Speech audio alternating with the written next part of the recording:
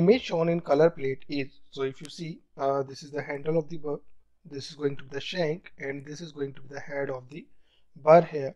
And this is going to be the blade actually or uh, the head itself. And in this you'll be seeing there are small serrations. Okay? So this is nothing but the transmetal burr so I should tell you about the transmetal burr so uh, this transmetal as the name itself indicate it cuts through the metal crown. So basically it cuts through the metal crown.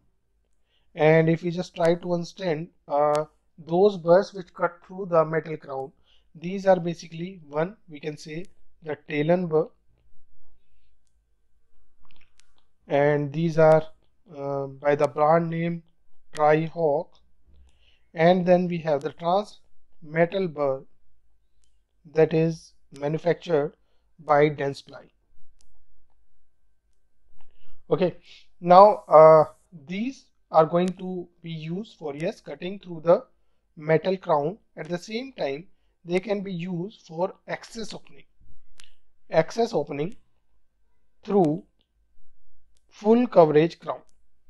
So whenever there is full coverage crown and you want to do the access opening through this particular crown itself then also you are going to use this particular transmetal burr now uh, if I just try to uh, give a brief review of the burrs so the burr which are basically used for access opening uh, first of all we are going to use about the carbide burrs now in the carbide burrs you have an option called round burrs so basically you will be using number 2 4 6 round burrs and these are used for caries removal and extending the outline uh, form of the uh, tooth right? So whatever cavity you are preparing so you can use for caries removal and extending the preparation wall extension of preparation walls. So these are two functions of the carbide burr which we should know. Now if i just try to uh, give you an idea about the round diamond burrs then you have the round diamond burrs and the round diamond burrs are generally used for cutting through the porcelain crowns, the porcelain crown and PFMs that is porcelain fused to metal.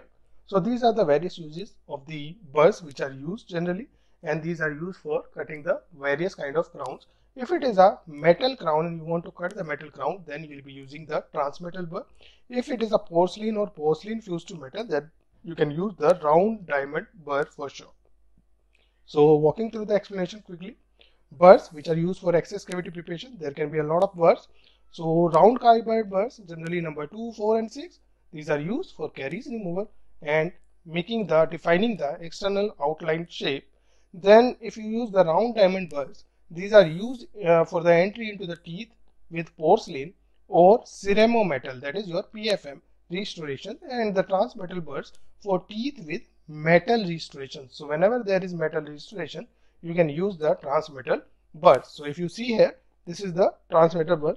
Generally, this is going to be the golden hair And then you have the Talon crown cutting burr. So here it is, it generally looks like tail and hair And that is also used for cutting the metal uh, restoration or metal full coverage crowns. So this is about the uh, transmetal burr. So answer is going to be your first one that is your transmetal burr.